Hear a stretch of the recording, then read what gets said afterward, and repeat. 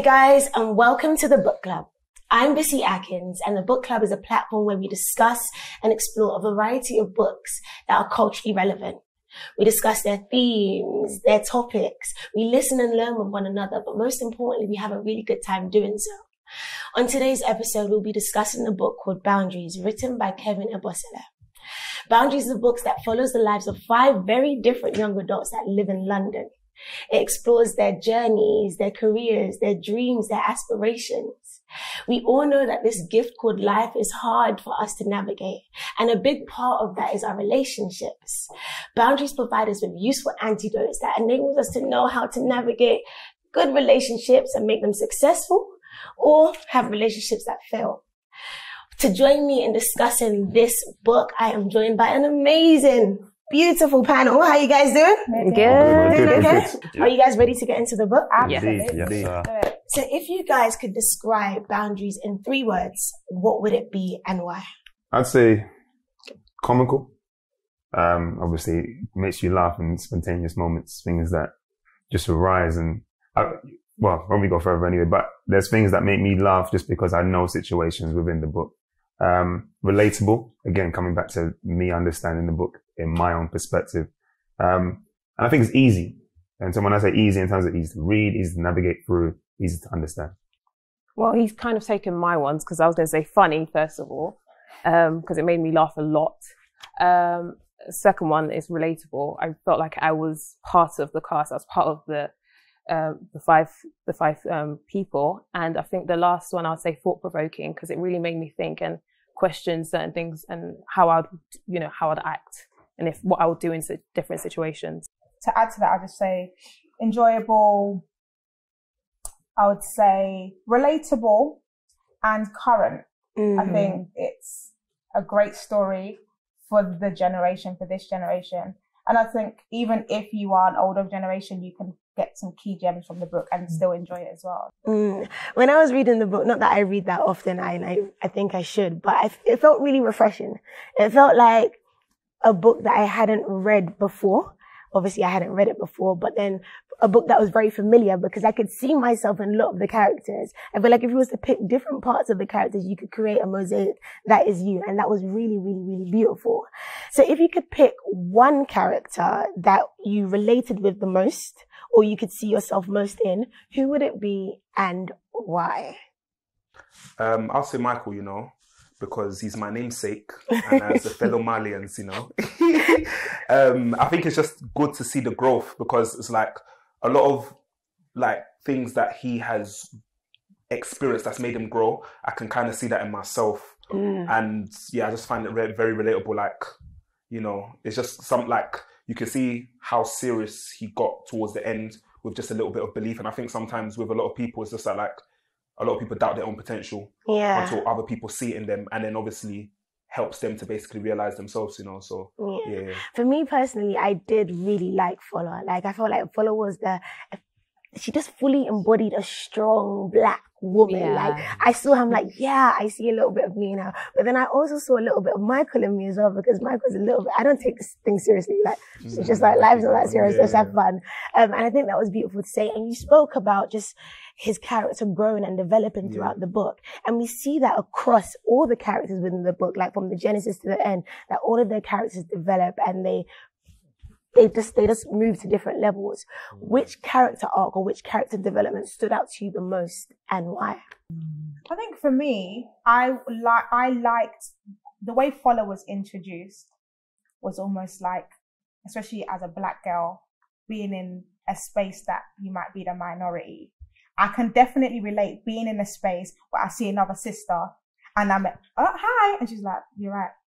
so when Rachel, when there was like, I don't want to reveal too much, but when she expressed her kind of offense to not being received in that way, I- in the beginning kind of came across, okay, that's a little bit, that one, that's, that's cis code, like what's, what's going on? But mm. then as the story progressed and I kind of understood Fuller, her background, what's going on in her life and stuff, I was able to kind of say, oh, okay, actually, she, she seemed to warm up. She seemed to always be going over to say hello and that kind of stuff. So I was kind of impressed of how that kind of twist came and how we saw her almost blossom and see kind of her responsibilities and the things that she's dealing with, and and I, I quite enjoyed seeing that. Yeah. Yeah.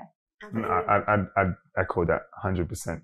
Um, being in situations similar, where obviously you go into the mindset of, I just want to do my thing and do Mm, my thing. And mm. someone approaches you, like, yeah. So to see the turn and to see her evolve into the whole friendship group, um, yeah, it was amazing to see. And obviously I'll take it to the side of, of Mike, Michael as well, seeing him. I like, I, obviously there's a whole rags to riches, seeing someone dump, um, not knowing that they're going left or right, and then being able to see the, the light at the end of the tunnel in terms of growth and there's potential to do because people around me believe there's potential to do. Now I'm kicking, kicking on and, and starting something. So I like that whole progress things. Obviously there was a, you know, a barrier in the middle, but Yeah. we, we, we hurdled that. We, we moved. We, we did that. Yeah, I'd say Michael because I mean, throughout the book, you can see there's a clear progression of his mindset, and I think he by the, by the end of the book, he's starting to realize his potential. Yeah. Um, but he also remains authentic, which I liked. And whilst on his own personal journey, he doesn't neglect others because I still feel like he's there for others as well. So yeah, Michael will be my pick. I was going to say Michael as well. Not that he, I don't feel like he progressed in any way. I feel like he was the same throughout, but I liked his, his genuine char- character. He was just, he's just who he is and nobody's going to change that. And when he, and he was open as well. I like that, you know, he was open to, to try different things and to be around different people, which is really nice, which I, I personally liked. Uh, so I wouldn't say he, I liked his progression, but I liked the fact that he was the same from the very beginning to the right to the end. Yeah. So I know the characters that you do like or that you're fond of, but were there any characters in the book that really irked you? Like you just didn't like. Page. Page. You didn't even let me finish. No, you didn't let me Paige, laugh. Sorry, sorry, sorry, sorry. What did Page do to you? Tell me. No, I'll second that one. Paige. Do you know what A she is? a wicked girl. She's a Everyone witch. hates you know, she's let me not lie to you. She's somebody that that has not. She's a bad character. In fact, she's somebody that the parents didn't born her well. You know, because you don't do that to people. It's wickedness. You know, it's wickedness. And ho- honestly, to God, she's an eyesore. That's it. That's all I'm gonna say. That's it. Anybody else? I felt like there wasn't any characters necessarily that I felt like with Rachel I was impartial towards her. Mm. But I would say for me, towards the end, Junior definitely began to grate on me. There was just things that he was doing that I was just like, "Mm, you're just losing points here. That was, I would say, if I'm gonna choose someone for me, it would be Junior. Yeah, I second that, Junior. Just because, yeah, the issue, some some things that happen, I just kind of thought Junior, you know, yeah, it's selfish. It doesn't have to be such a big deal. I mean, oh, why are you taking so long? Like that was going through my head. Like, if I was a sister, I'd have been like, no, you need to do this, you need to do that. But I guess it was growing, so Didn't like Rachel like annoy you in the beginning? Like, wasn't she just a bit moany, a bit too like she's not sure of herself, a bit too like just complaining? I saw bits of that. In there. You saw it, didn't that annoy? It annoyed me. I wasn't really a Well, fan of she you her. know, just seemed like she had a cut lot of her slack, you know. expectation. I think you Why? know, given the circumstance, you know, sometimes yeah, you could be enduring certain things that can make you behave a certain type of way. Maybe I, d- So I don't think it's it's in- because of the pressure. yeah, I don't think it's intentional. I think mm. it's because you know she was going through one calamity or the other. So you know, Mm. yeah. Do you know what it was? I think obviously you don't realize this in the beginning, but I think it was where we didn't realize how much pressure she was feeling from being in a job that she wasn't even, or in a career that she wasn't even sure that she wanted, Mm. and then not even being necessarily great at it or as great as people had expected Yeah. her to be. I think that was it. But obviously you realize that towards the end. Yeah. Yeah, she's literally a byproduct of her parents. I think Yeah, so many people go through that. It's like whatever your parents want and their dreams are, yeah, you have to adopt it. And okay, I now need to be the doctor Yeah. my parents wanted me to be. But I wouldn't say it didn't. It didn't irk me. It was just mm, Rachel. Mm. That's how I felt. I was just like, oh, Yeah. Anybody that identifies as Rachel, I don't know if we could be friends in the beginning. Maybe as my character develops and your character develops, then we'd be cool. So boundary speaks a lot about relationships. And as I said in the beginning, like relationships are a big integral part of our lives. We have romantic relationships. We have relationships with our parents. We have teacher, student relationships, work relationships, platonic relationships. So many things are surrounded by relationships.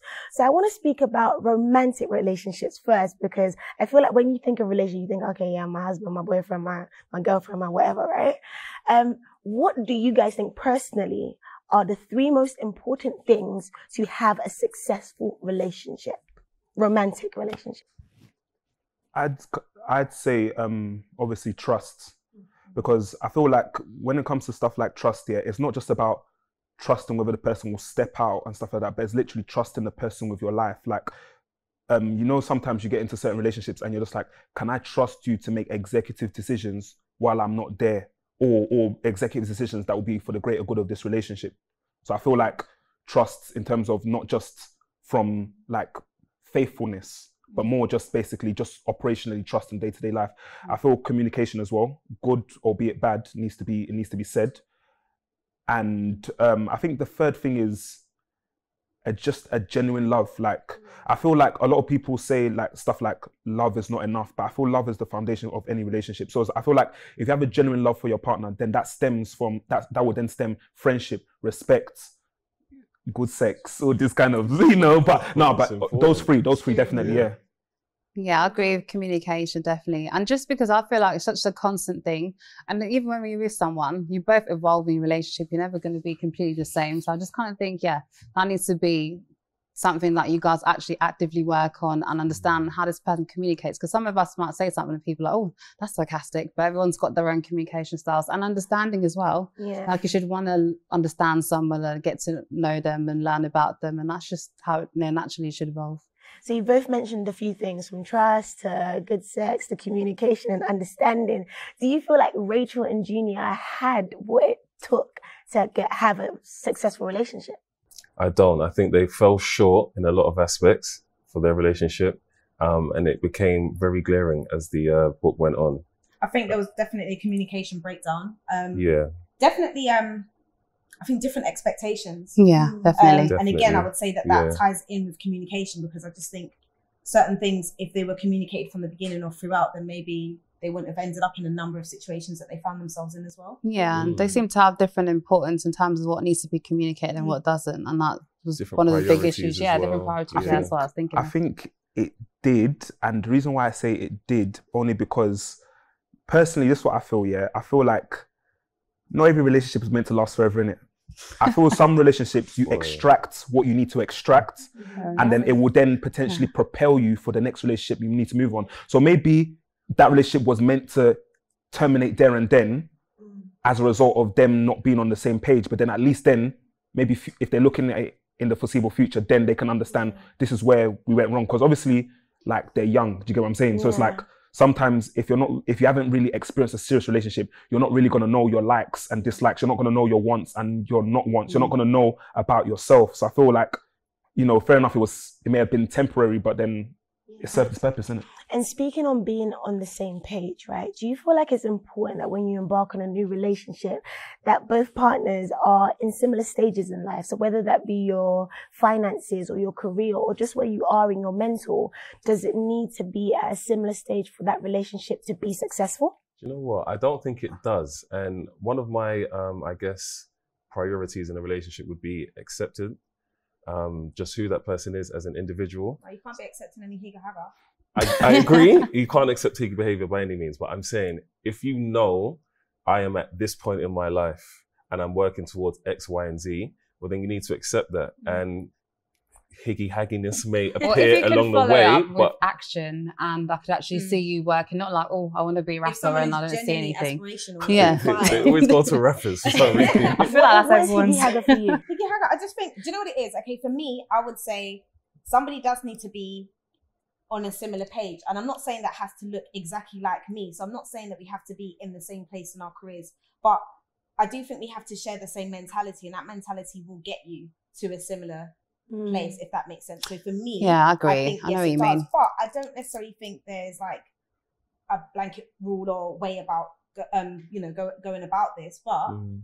For me, I just think yes, you do have to be accepting, but I think we also have to be very careful of what we're actually choosing to accept. So Mm. as we said, if we can see that someone's got plans and they've got aspirations and they want to go and there's things they want to do, and you can see that as you said with Mm. the actions, Mm. then fine. But not everyone is like that. Mm. Right. So I think that's where we need to be careful. Yeah, Mm. yeah, because you won't want someone who's so carefree and just doesn't know where they're going, and you're so focused, and then you kind of feel like they're holding you back. Because then I feel like that would be a big That's issue for also a big me. investment. Yeah, Mm. Like the partner that you invest in technically is Yeah, we're is a big part of your life. yeah, mm. So I you think- kind of need to be on the Do you know what it page. is? I think it depends on what you want in a Yes. relationship. I think that let me be honest with you because there's some people that want a relationship to maybe out of comfort, mm. or some people want a relationship because they're bored.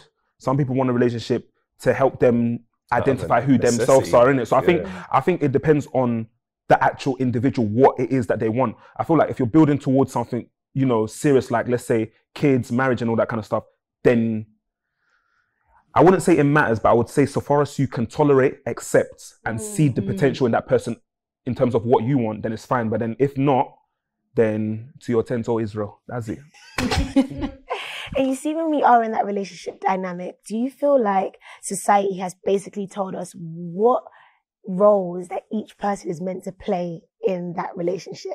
Uh, I feel like traditionally, yes, but I feel like in 2020, it's just a bit blurred. And I feel like that's also why like dating in 2020 is hard and difficult because I think um, there's more opportunities for women. Um, things are a lot less traditional, but then sometimes there's still that expectation. So it is, I think it's quite blurred and quite difficult to. Sorry, let me let me interject for my sister here. God bless you for saying that. Let me not lie to you. The reason why it's messed up and it's collapsed now, yeah, because nobody knows their role again. 100%. That's it. And do you know what it is? Yeah, I'm not gonna say what role is what. That's for you to define. Mm. Right. But me personally, I'm a traditionalist. People I will not lie to you, things, staunch yeah. one to the core, and I will not change for anybody. With that being said, I like, you know, a man to do this one Mm. and a woman to do this one. Not to say, not to say I want my woman to be submissive, but everybody should play their role. But is there anything wrong with being submissive if a man is being a man? I think in the sense of I like the whole idea of, you know, like let me say like this. A man to be, let's say, the CEO of, of the household. CEO? Yeah, then the woman to be the COO. Everyone knows that the COO is, is as integral as the CEO. Uh-huh. But operationally, you know, you'll be doing all this kind of stuff, you know, all these good jobs and all this kind of like let's use um Barack and Michelle Obama for example. Okay. Very fantastic, very okay relationship of what we see, by the way them. yeah, of what we see. of what we But it's see. like I feel like a woman is meant to be a man's safe haven. You speak life into your man, speak good things into your man, and then the man is meant to reciprocate that and love the woman unconditionally, and they grow together and they have loads of children and just enjoy their life. That's. Perfect. So for you, Mr. Traditionist, there, yeah. if the gender roles were to turn on their head and the woman was now the CEO and you was the COO, how would you adjust to that, or would you be? He cut. he, he didn't ship. even let me land, so you wouldn't be able to deal with that. Ah, Kojo. I mean, sorry, sorry, English in it. Sorry, sorry, sorry. Yeah. It's not possible. Not no, possible? no, no, no, no, no, no. And for you, sir, Because let me, sorry, let me, can I land? Can I land? Let me tell you something here. Basically, ideally for me, you know, my mom sent me to school. My mom didn't say I should be somebody's omodo, you know. Omodo is housemaid. wait, wait, wait, sorry. wait, wait, let me interject. Then, what Yes. Does that mean your COO? No, I was no, gonna no, say no, the no, same no, wait. thing. means Let me, let me explain something. explain well. the worst thing I don't want is for my wife to give me a period pint to go and wash. I don't want that. I need it that, But let's wait, say for I'm example. confused. I'm confused. So you can't do the laundry? No, the difference is I can do the laundry, but not that you throw your pants on me to go and tell me to wash. But who told you that she needs to throw throw her pan pants? for her to wash? No, but let me tell you something. Ah, ah. I No will be honest with you. I'm sorry. I'm sorry. anyone. I'm not, let me say, let me say, should be no, no, put no, into the no. Let me hamper. say, let me say, what- wait, wait. Let me say Explain my own yourself, opinion, okay? because- My own. This is. I know this is gonna sound bad, yeah. But when you give women too much power, they go crazy. It I'm sounds sorry. bad. Oh I'm It sorry. No, bad. I'm Wait a minute, sorry. It sounds bad. It is bad. Yeah. Why, why would you say that? I'm sorry. No, no, no, no. It's the truth. So with that being said, it's like I need things to be, you know, very okay in it. But that's my opinion, Sha. But why is that the truth for you? I don't know. I just feel from experience of what I've experienced. It's not, you know. So I wouldn't want that for me. That's me personally. So it seems as if you, Mr. Traditionalist, that you would not be able to survive in a relationship if the woman was CEO and you was the COO because you fear that she might just throw her period pads. No, it's wrong. It's wrong. Let me tell you something. I believe in um, equality, not equity. But wait, I'll land there. What I'm trying to say is, yeah, woman can be any, you know, she can have any job she wants. If she wants to be the CEO of a FTSE 250 or FTSE 100 company, that's fine. But for house and bedroom, I'm CEO. That's Okay. it. There's n- we are not Nothing. sharing. No, no So how do you feel then about a woman earning more money than you?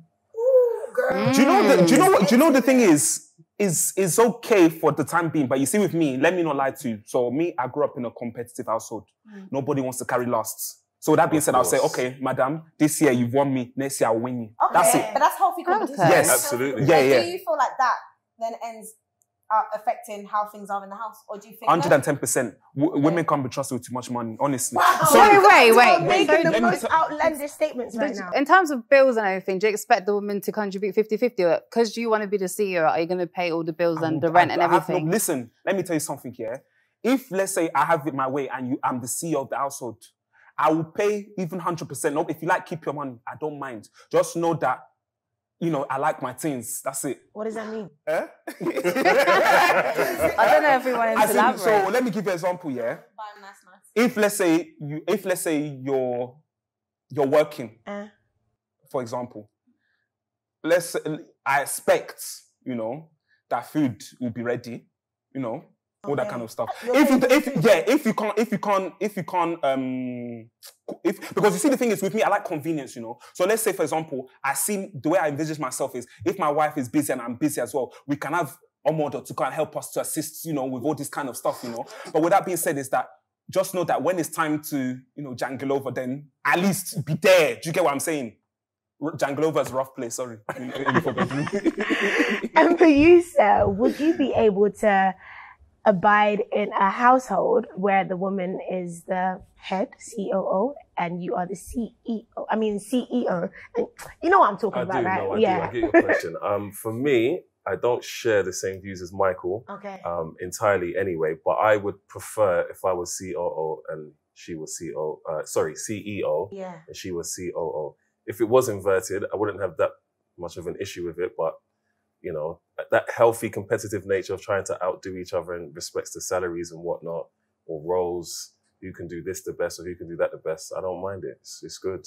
And ladies, like I've heard it from the men's point of view, right? But would you even want to be the CEO of your household? no. Mm. Good. I mean, yeah, yeah. you know, there's there's there's lots of um I guess debates about this, but for me personally, I think I don't know, I could be wrong, but I think for me, my opinion is women will naturally submit if a man is doing their traditional Yeah, role. yeah, you and if that's what you want, then fine. I don't think everyone wants that, and I don't think every man wants that. So I can't necessarily say, but where I, I can understand and I can relate to that, I wouldn't want to be. I would Mm. want I would want a man that's able to take the lead.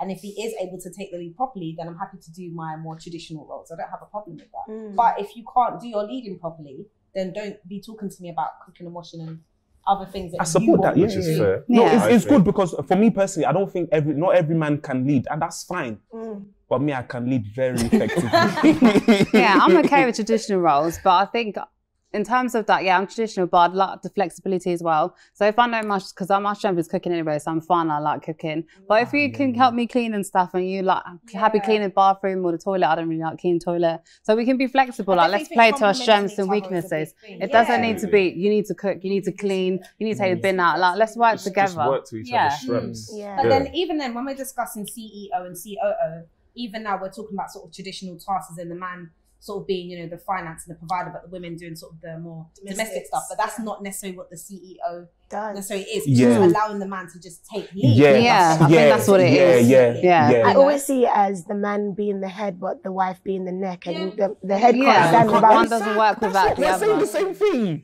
Yours was quite extreme the way you No, no, said no, it. wait, wait, It was the let me- period. What? Why'd you, why'd you say that? It was just like about the period pads Exactly. and the No, No, oh, but let me tell you some. Let me tell you something. What are you telling me? Let me tell you now. Let me. I've, from experience, I've seen women that earn more money, and they will send the man out of the house. What kind of rubbish is that? Why? Why? Is it because she's earning more money or what? Yes, because she- she's now wearing the trouser and he's now wearing the skirt. No, but that's to that do with respect Yeah, rather yeah, than that's what I'm saying. month, If, the what I'm saying is, if you give her too much leeway, she will not respect you. That's it. No, maybe some women you've encountered. All women are not like that. Okay, no, the difference is, I'm, s- I'm, you know, with me, I like to speak from experience. So maybe your experience is different, but for me, I've seen when women earn good money, they don't know how to talk to men properly. In fact, they are, they are very outlandish. with their co- In fact, I, I don't even have word here, but it's ups, it upsets me. Sounds like you're I'm having very passionate. flashbacks, It innit? upsets me, seriously, it upsets me. I guess. it. It So, upsets me. Mr. CEO, right? Yeah, I have a question for you. Go on. Do you know your love language? Yes. What is it? So the one that I like to receive is words of affirmation. You'll be saying, Daddy, you're doing well. Uncle, you're the best. Chief, nobody pass you. You're not, you know, as in nobody can rival you, you know. Tell me these good things. Even if I'm not doing it, just tell me and I will perform above and beyond expectation. The one that I give to people is acts of service. So I'm not really somebody that says I love you. Like I can say obviously if I like, but I'm not really one that I love you. I can't live without you. But it's like for me, everyone. I think people can hold testimony that the people that I love, literally, I would die for. Like I would give anything for. Literally, if I have the last ten pound in my pocket, I will give it to you so that I can suffer. It's bad, but with me, I wear my heart on my sleeve in it. So it's like if I've got you, I've got you. That's the way I show my love, innit? That's beautiful. I, I wanted the violins to play. Like I wasn't liking you for a second, but now You've redeemed yourself a You've little redeemed some bit. brownie Don't worry, we points. date together. and for everyone else on the panel, do you know your love languages? And if yes, what are they? For me, um, I, think I'm, I feel like I'm a bit of a mixed bag. I feel Okay. like personally, I feel like in terms of giving or what love languages show, I do feel like I do different aspects of them. But I think for me, it would be acts of service in whatever way that's actually presented. So if it is someone's way of showing that they love me is through words, then as long as I understand that, that's fine. Or if it is by giving gifts or helping or just doing something that I know is their way of showing, then I'm happy with that, is what I would say. Yeah, mine's a mixture of yeah, like if um someone tells me, "Oh, you're nice," or compliments and stuff, and also gifts, but not in terms of it needs to be expensive.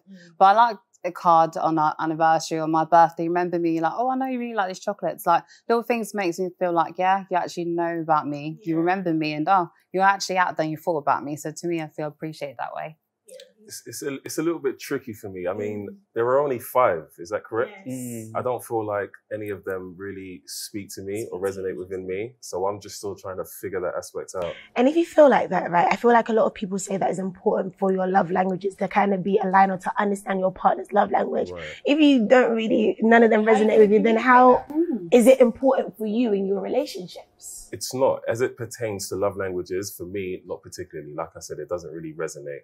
If, uh, you know, the person I'm seeing um, speaks about acts of service, you know, I like when you do X, Y, and Z, I'll go above, above and beyond and, you know, I'll try and cater to that need. But as it goes for me, me, I'm, I'm a much more simpler person. Yeah, you sound you sound really mellow. Like, I it's just really yeah, very mellow. you should be like a voiceover Yeah. Yeah. artist or something. Like, just treat me nice, I'll treat you nice, we'll get on But well. what does that mean? Because that's, you know, that's different to different people and it looks different.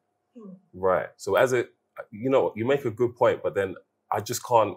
Any one of those five, I just can't say it's this because then that would just be. So maybe false. it's a mixture for you. Is that allowed? Yeah, of course. I assumed it was. This is it. This is the one I omit. This is the one I like no, to it can receive. be a mixture, and it can change. Do you know what as it well. is, yeah? It When when you actually yeah. take the test, yeah, you actually realize that it says these are your strong ones, and it actually prioritizes it in order. So Mm. I think everybody Ah. has a mixture of, of Yeah, all five, yeah. Right. Just but it's just there's one or two that the will be others. stronger than the others. Yeah. yeah, Okay, I might need to revisit that. yeah. I'll send you the link. Yeah. Don't worry. As well as love languages, we have like emotional intelligence. Can the lack of emotional intelligence be a contributing factor to a demise of a romantic relationship? Hundred percent. Hundred percent, like for real? For real, Yeah, definitely. Why? Why do you think so? I think um, emotional intelligence affects the way that you love that person. It affects the way that you communicate. If some person, if somebody doesn't feel like they're understood or their partner isn't trying to at least understand, you may not know everything, but sometimes just showing, okay, you know what, I don't know, teach me, help me understand what, what you're feeling. That can really help somebody. But if you have no form of intelligence, if you even asking an intelligent question, ah, you're finished Did you go to Yeah. school? you didn't go to school, you didn't, and it's just it's such a drag trying to teach somebody basic things Mm. of like how to communicate. Take the love out of it. If you see me, I'm upset. It's okay just to ask me, "Are you all right?" Instead of just thinking, "Well, you decided to be silent, so I just wanted to leave you." And then to, we want emo- Ouch. emotionally mature people, but, but somebody could perceive that as well because you were being quiet. I didn't think you wanted to be bothered, so I just left you. Yeah. Whereas when you're emotionally mature, it's okay to just ask if you're all right Okay. and you know and i think that does impact a lot of like relationships and a quality of relationship that you can have At the same time, you say that again, throwing a bit of spanner in. Um, that is someone's emotional inte- intelligence, and it's not incorrect. I think it's just where they are, but then that might match somebody else's emotional intelligence. So in terms of a pairing, you two, might not be yeah, but I think I, I think there's levels to an emotional someone's emotional intelligence, and if someone is used to people around them when maybe they previously asked, "Are you alright?" and it's been a bounce back of "Leave me alone," that's Mm. something that's going to hold their Kind of trigger. now. deter- Oh, you're quiet. I'm a chill. but i think Mm. emotional intelligence doesn't come necessarily from it's not from my understanding it's not necessarily based on your previous experience It's that person. it's that's that's what that's more of a an experience we're talking about an intelligence I know, but then I think an experience builds an intel- intelligence. You you you you gain intelligence from From experiences. experiences. But everyone's everyone's different. There we go. So I, I wouldn't I don't necessarily no. agree with that. I'm I'm just saying in the, in the fact of it it has it it has its st- say, but then when you talk about teaching, I think if it's a constant teaching, Yeah, that's when it becomes a Yeah. Yeah, burden. think Yeah. If it's to happen one, two times, you're like, listen, this is because obviously that's what you're there for. You're there to this is you know how you want to be loved. Yeah. That person doesn't. But they know they want to love you. Mm. So you then have to di- direct it. You both direct each other. That's why you know it's a, it's a companionship. You work together to grow something. yeah. Um, so I, I just think that with certain times, I wouldn't say it's the ultimate demise. I just think if there's a, if there's a constant, you're not trying to hear me. Okay, this isn't for us. Mm. So Could- Yeah, interesting. I just want to quickly just add Yeah. to um, based on a comment of, well, I thought this is how, or this is what I thought you want. I found myself asking a question to somebody. Is that what you think, or is that what I told you? Mm. And I think when it comes to emotional intelligence, you have to ask yourself, am I acting based on what I think or the information that that person has told me? Do you understand? I think that's the difference. Yeah. Gems. Gems. That's the yeah. difference. I was gonna Gems, say yeah, gems, yeah. gems. Ah, well, I thought she would do that. Okay, but is that factual or what you think? Have you asked? Yeah. You may be right, but unless you ask, you won't know. Mm. Word, word, word, word, Word, word, word, word, word, word. and it just seems listening to everybody that obviously romantic relationships are very not complicated, but there's a lot of layers to them. And for them to be successful, it takes a lot of intentionality. It takes a lot of maturity. It takes a lot of intelligence for it to be what you desire it to be and on both parties, right? We're now in the 20th century, right? And this dating game, a lot of people are like, oh, dating is like trash. Dating is just like, uh, the ghetto. dating is just like, uh. so in one word, each of you, if you could describe the dating scene Oh, today to Damn. what would it be and Damn. why? It's the ghetto. it's the real ghetto out here. It's, it's I think it's really hard, really and truly. Um, I think this popcorn generation, everything's so quick and fast. Um, I could be perfect for a guy, and he could talk to me one, two days or a few weeks, and then all of a sudden just ghost.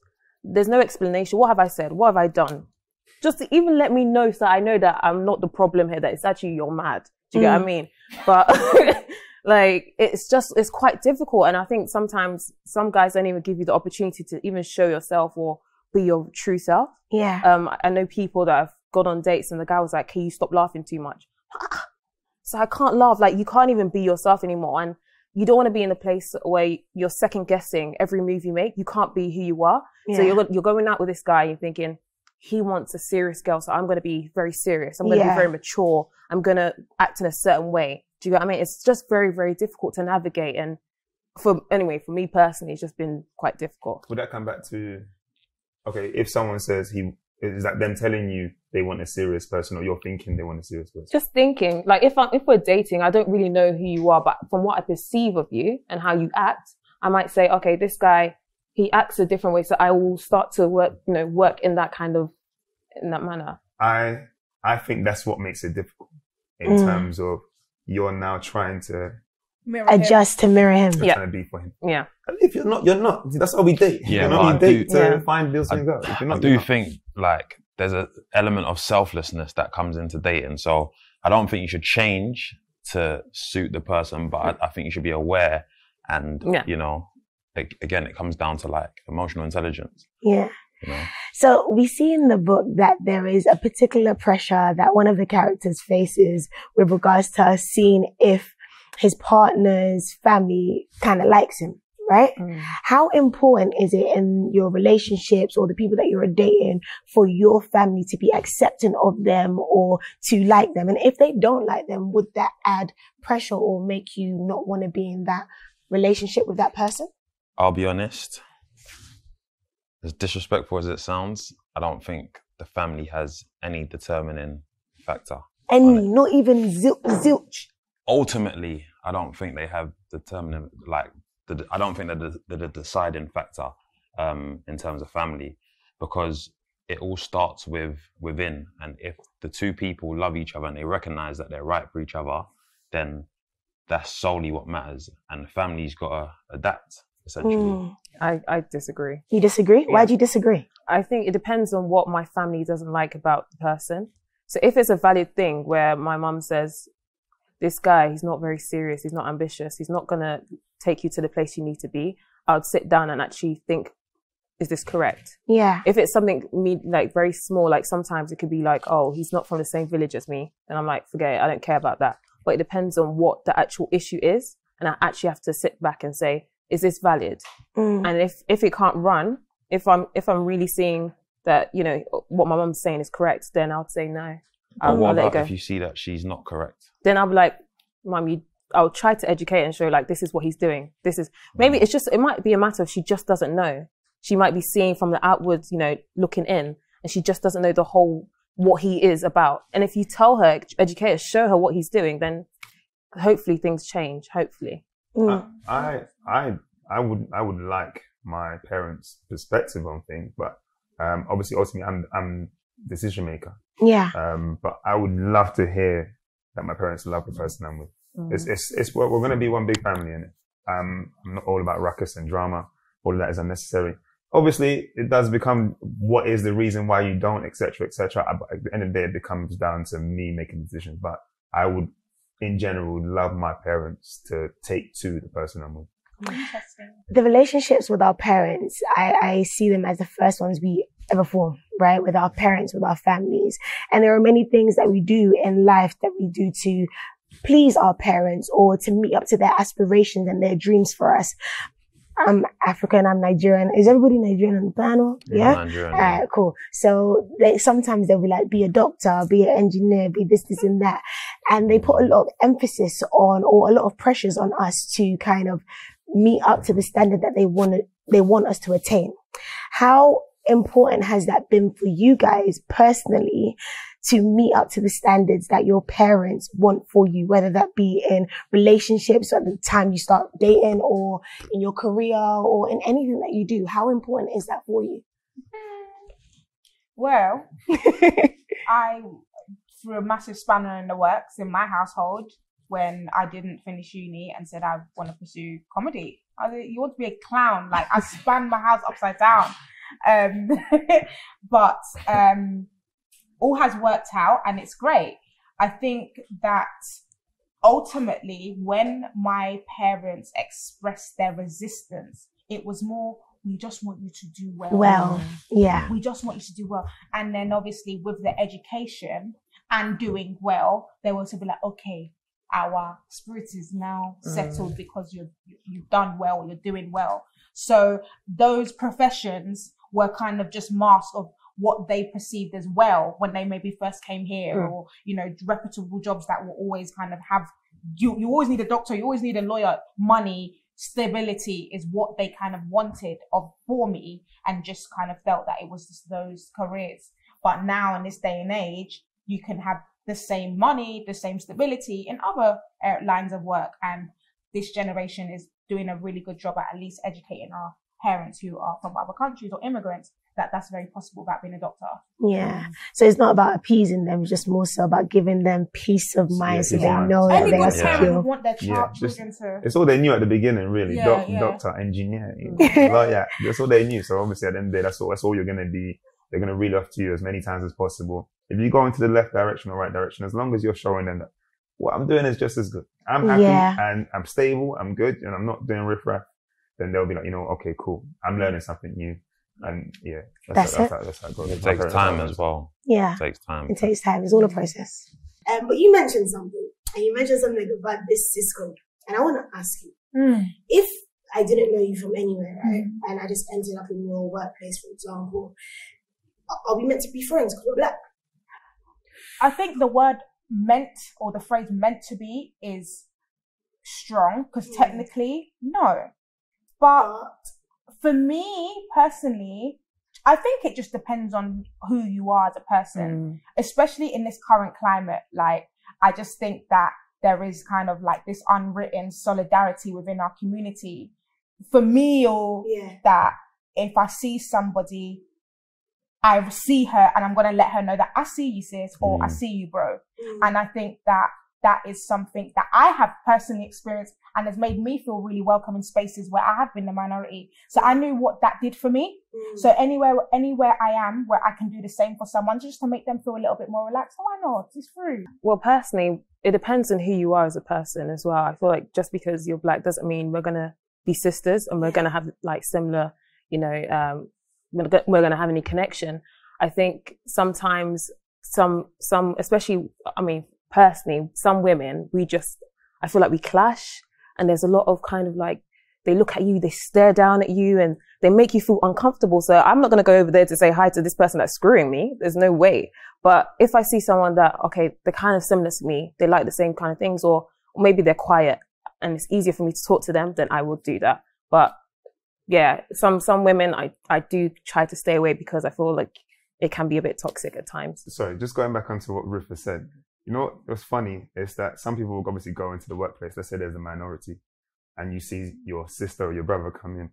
It's almost like, oh, you're coming from my spot. I probably that's the screwing Mm. because I, I think most places, like So- most places, you sit there and go, okay, I'm the only black person in this chair. If some another black person comes, the only chair available is this chair. Mm. Is that your mentality? No, no, that's not my that's not my mentality, but that's how I see things and uh, how people perceive things. I see how people perceive things, and Why my do you think mentality is Why do you think they think just through different different conversations. There's there's conversations I've had with other people in terms of oh, I've gone into my workplace. This person's treating me a certain way, different to how they're treating my colleagues who are white. Um, why do you think that's happening? Oh, they're saying things like, "If you want my space," so I'm looking at that. There was only one space within certain fields for the minority, which is the black folk. So I, I believe that there's one chair in and then two people are battling for that chair. Most times it's they're battling for that single chair. If there's another chair that comes along, then you know, then we're, thankful for that. That's what we're fighting for. But I think in general, most industries, it's a case of you're all dotted around. So if you're in the same space, it's that it's that same chair. But on a person, on a personal, on a personal, I am all about, you know, not building maybe a, a massive friendship, but just letting you know, I know you're here. Mm. Um, I've got your back. Mm. I'm not even. It's not even a case of have you got my back. Yeah. But me personally, it's like you know what, I'm here. Welcome, innit? Like you, you're, welcome. Let's let's do what we need to do. It's, it's kind of funny because even the same people that I would say that when they first met me screwed me, when we actually sit down and talk to each other, we actually have the same story and we have the same struggle, which is really interesting. And sometimes we've had like, um, there's a lot of BAME events in my workplace. And when I actually sat down and speak to the people that I thought didn't like me, we're like, oh my gosh, like this, we've, we we've had the same, we've had the same type of manager that's been treating us bad. You know, we've had the same experiences and it's, it's quite interesting. So yeah, I sometimes I stay away, but when, when I do get to talk to people and actually have a one to one with people, I realize actually we are very similar. Yeah. And fundamentally, do you feel like when you do see someone that's similar to you, a black person in your working environment or in just any space, do you feel like it's important that we connect on that level just because we're black?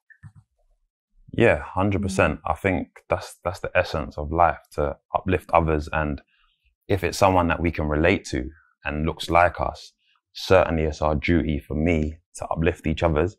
And if we're not going to uplift them and be best buds, as the panels mentioned, at least don't tear them down mm. in in the process. So that's that's my And take on it. it's funny you said uplift because my question was you connected. Why did you interpret that as mm. uplifting? because I feel like just connecting and speaking, having conversations like Ruth mentioned, is a form of uplifting. At least at, um, showing someone that you're there with them and you're Yeah. experiencing the same thing can be a boost for the self esteem. It's my it's my thoughts. I don't know about anyone else, right? But in my days of the corporate world, especially, I absolutely it made it. It was so enjoyable for me having at least like one friend at work. Mm. I don't know about you guys, 100%. but yeah. So so if there's if an opportunity arises, and you have an opportunity to relate or at least interact with somebody who maybe looks at you, who can kind of you can just be sending each other WhatsApp like, ah, did you see that Lisa? that Lisa came in today, and she's like, yeah, yeah, yeah. It just makes the experience just a little bit more better, you know. Yeah. Just Yeah. And it's nice, you know. So what happens when you are friends with people from different races?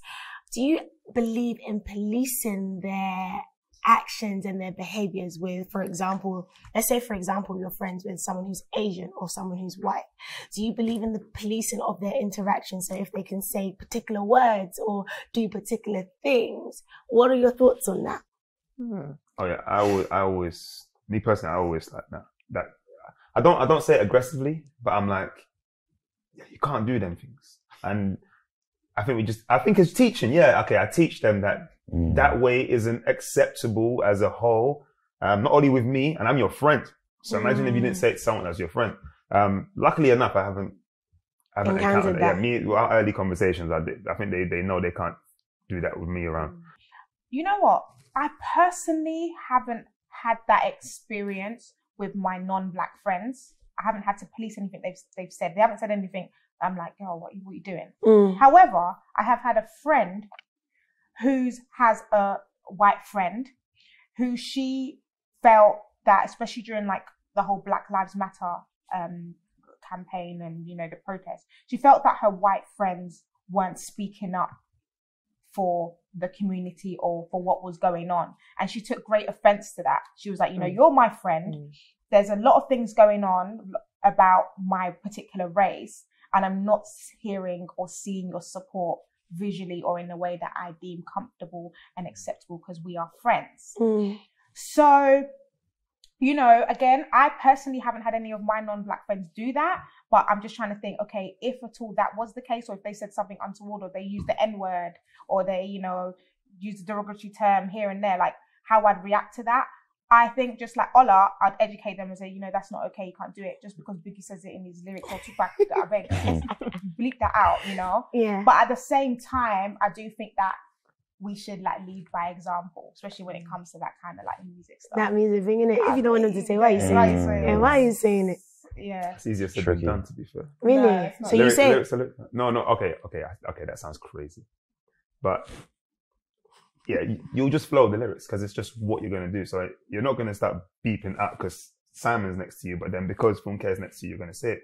So it's, Mm. it's, it's something that I'm allowed to do.